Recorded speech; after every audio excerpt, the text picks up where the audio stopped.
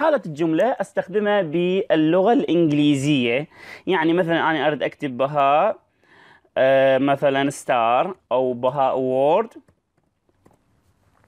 طبعا بما أنه بهاء Word معتبر أنه اسم علم فيفضل أنه كل كلمة من هذين الكلمات تكون تبتدي بحرف capital أصحاب اللغة الإنجليزية هم يعرفون بهذا الشيء. فحتى أحول كل كلمة من من هذه الجملة بحرف كابيتال أروح على حالة الجملة وأختار حرف كبير في بداية كل جملة. مثل ما تلاحظون إن البرنامج راح يخلي لي كل كلمة بحرف كبير. نجي نكبر النص وأكتب مثلا بهاء آه، مثلا علي. أو مثلا محمد.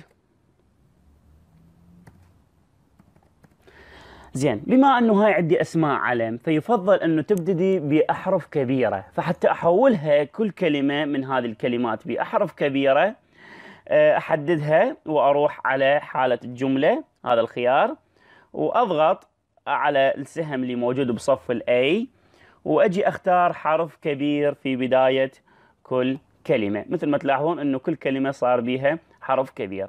هذا فيما يخص الخيار الأول. نجي عندنا حالة الجملة. حالة الجملة هو يبتدئ الجملة بحرف كبير فقط ويترك الكلمات البقية كما هي. آه، بالنسبة لي حالة الجملة.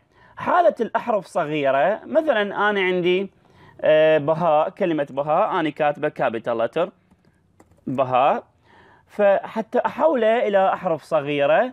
أجي أختار الأحرف صغيرة. أريد أحول بما أنه عندي اسم علم أريد أحوله إلى أحرف كبيرة. أختار الخيار اللي هو أحرف كبيرة. طبعا آه، عندنا آه، الخيار الأخير بقى اللي هو طبعا استخدامه جدا نادر اللي هو راح يعكس لي حرف كبير في بداية كل جملة. راح يكون عندي حرف استهلالي في بداية كل جملة. يعني حرف صغير في بداية كل جملة. هذا فيما يخص إيه، فيما يخص بحالة آه، الجملة. عندنا الخيار اللي هو مسح التنسيق. طبعا يقوم بالعمل عكس الخيار نسخ التنسيق. يعني أنا عندي نص مثلا معين هذا النص منطيفة تنسيق معين ومنطي مثلا لون أحمر بولد آه، مائل تحته خط الخيار مسح التنسيق يقوم بمسح التنسيقات اللي أنا أجريتها ويرجع لي النص كما في الحالة السابقة. كأنما النص أستوى مطبوعة وأستوني كاتبة.